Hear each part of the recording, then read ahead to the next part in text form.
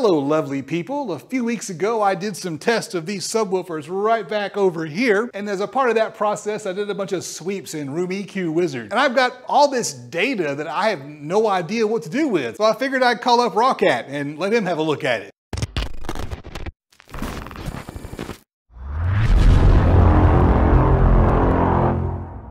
I think I'm going to so first question, yeah, first question because um, whenever I have any kind of data, I need to know kind of the small details. So first of Okay. all, when you took the measurements, were they all taken on the same level, like power-wise? How did you determine the power level?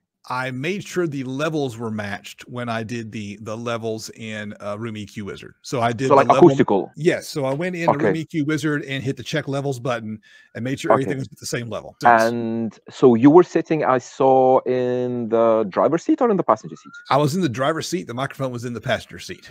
Aha.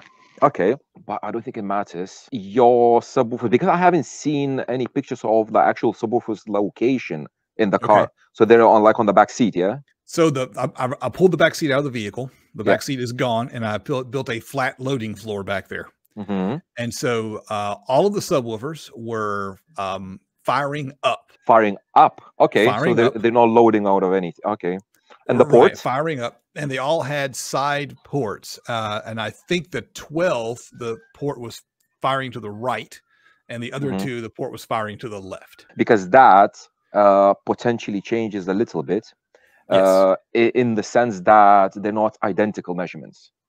Yes. Because the port, obviously, it's producing like the tuning frequency, which is about 30 hertz in your case. right. right, and all it them, is all of coming- them so- right at 30. Yeah. yeah, like in a short cabin, probably it doesn't matter that much. Because, like in, in my car, yeah, if you have a subwoofer Mhm. on one side of the boot and you shift it to the other side of the boot, it's a slightly different response.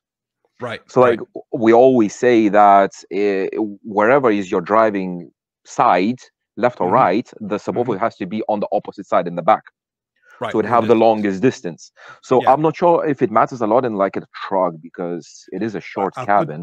I put everything in the in the dead center of the back. Yeah, So they were all they're all in the dead center, and that sounds simple, but it's tricky because the box with the four six and a half is four foot wide. yeah, yeah. I made it So- four. so have wide drivers, with- like, from door to door. plywood, exactly, and the Yeah. drivers were were were spread out Mm. exactly. Okay. So they it wasn't quite the apples to apples comparison that I hoped it was. Uh, and I looking back, I might have I would have put more thought into making it as identical as possible.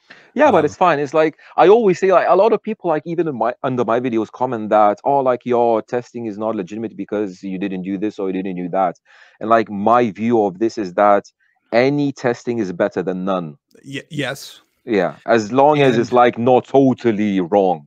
Oh, another question. Um, crossovers Okay. for yes. the subs. Did you I- use any crossovers? I do not believe that I had any crossover as a So it was like running full filter. full range. I, I I thought I was running full range, but I may have not have my DSP settings like I thought they were. Okay, so can I just like send you my files and let you uh, make a video with what's in them? Yeah, sure, of course. I'm gonna do that probably today because I have nothing else to do. All right. Actually, actually, I have loads of stuff to do. But yeah, I- uh, I'm gonna look at those files Okay. and I'm gonna tell what I think. So this is the files and for those that didn't follow what's happening here, basically Justin made a video uh, two weeks ago about three subwoofers, which is a single 12, dual 8 and four 6.5 inch subwoofers in one box and he measured all of them.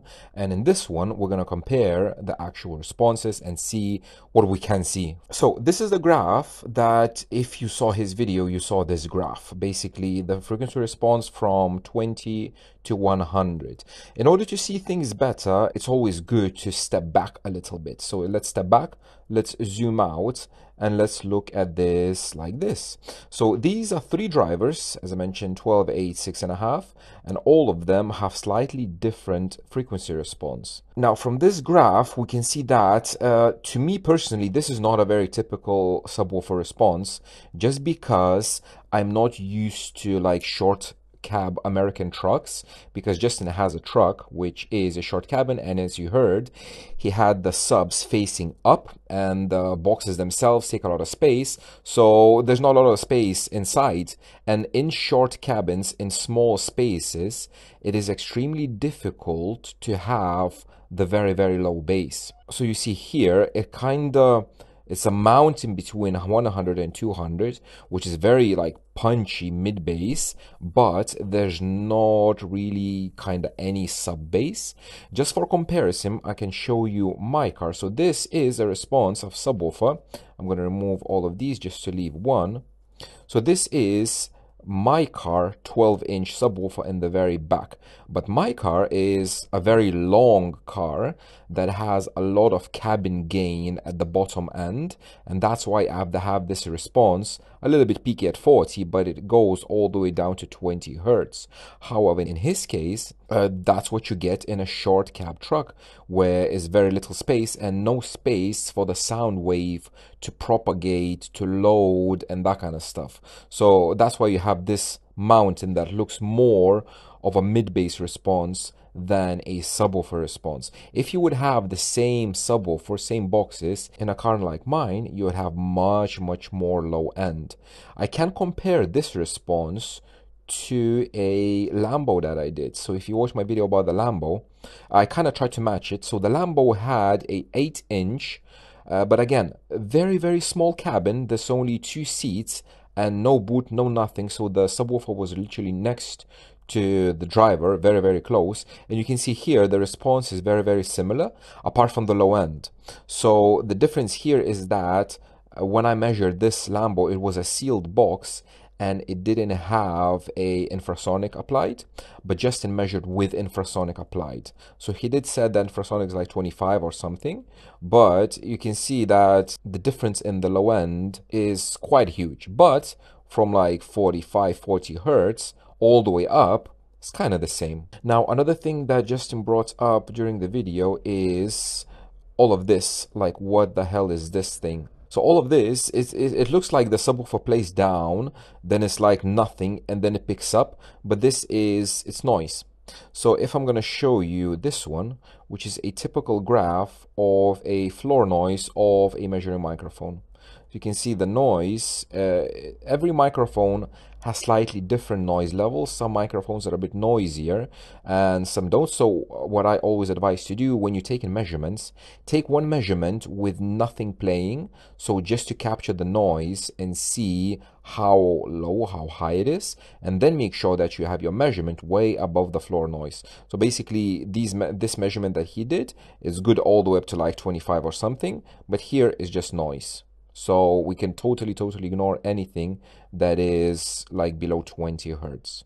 Another subwoofer that I want to show you is, it was from one of my remote tunes. It was in a Porsche that had an under seat subwoofer. And here you can see something similar. It's a very high peak. It doesn't play low at all and it kind of rolls off. So just the shape of this response, I'm trying to explain that it is caused by the cabin, not necessarily by the enclosure or the box. So now if we're going to compare this, all of these three drivers in a slightly zoomed out view, I think it's a bit easier to see that the red one uh, has a much bigger response in the lower frequencies. So we have a difference of 10 decibels at like 60 hertz, something similar at 50 and a bit lower lower. So at 50 hertz the difference is the biggest. And we can say that this red line which is a 12 inch plays lower frequencies much louder like 10 decibels louder compared to dual eights or four six and a halves. Now if i'm going to remove the 12 the eights and six and a halves play very very similar. You see the differences in this response it is due to the fact that like six and a halves, as he mentioned, is four drivers and they span from the left side of the car to the right side of the car. Whereas the dual eights, they're kind of more in the middle. So eh, they're not identical boxes. That's why you have not identical response. But from this, we, we kind of can say that like this range between 34 and 56 Uh, the eights have a little bit more energy here, but it's I think it's more like error of measurement, so we cannot really tell the difference between the eights and the six. But a 12 is clearly playing more at the bottom end. Now another thing, let's have a look at the distortion. This is the distortion data that is kind of zoomed out.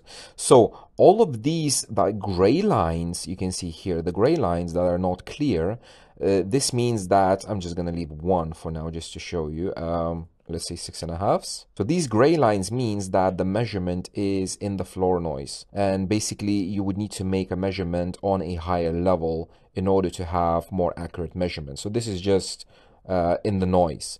But if we're comparing like six and a halfs and eights, you don't look at any numbers that are given here, but you look at the number on the y-axis here on the side. So we have here distortion at 1%, 2%, 5, 10, and so on and so on. And here we have the frequency.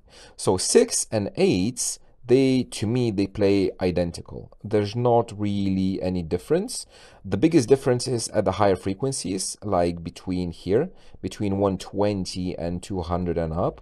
But to be honest you're not going to play subwoofers that high anyway. So just made this measurement like with an open crossovers. That's why we can see it. But if you cross the subwoofer at like 60 70 80 hertz here all of this it doesn't matter because it's going to go into the crossover and what matters is here. So again, I'm not sure about the power level, but according to the measurement, it's about 90 decibels in level.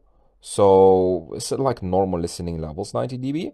And for this, we have six and a and eights all the way down to 30, like 30 to whatever is going to be crossed is 1%, a little bit higher here, a little bit. So it's like 1 to 3% of distortion. Now, is it a lot or is it not? For subwoofers, uh, you're not going to be able to hear 1%. No chance. For subwoofers, you might be able to hear 10 or even 15%.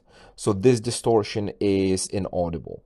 Now, I'm going to remove 1 just to, let's leave the 6. And I'm going to add this, the 12. So for the 12, you have a very different picture. We see that here they kind of intersect. And basically this means that the 12, everything below 50 hertz, the 12 is cleaner because you can see it plays down to 25 like below 1% distortion and everything above 60 hertz it has much higher distortion and it kind of makes sense when you think about it. Like these six and a halves, I always say six and a halves for me personally, it's not a subwoofer, it's a mid-bass driver.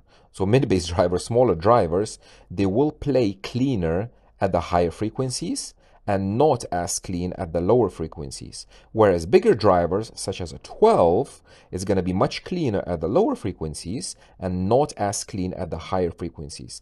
Because a 12 inch playing 150 hertz unless it's a pro audio mid-bass driver then yes but if it's a like dedicated subwoofer it shouldn't be playing this at all. So again if you cross it at 80 hertz somewhere here all of this is going to go away and you're going to have a much cleaner response. So from all these three you can see six and a halfs and eights they're very similar but the 12 significantly cleaner compared to the other two. So with a single 12 you have a much cleaner response even if it's not audibly perceivable, this distortion, but objectively looking at it, the lowest frequencies, like at 30 hertz to 40, 50, it is cleaner on the 12 inch.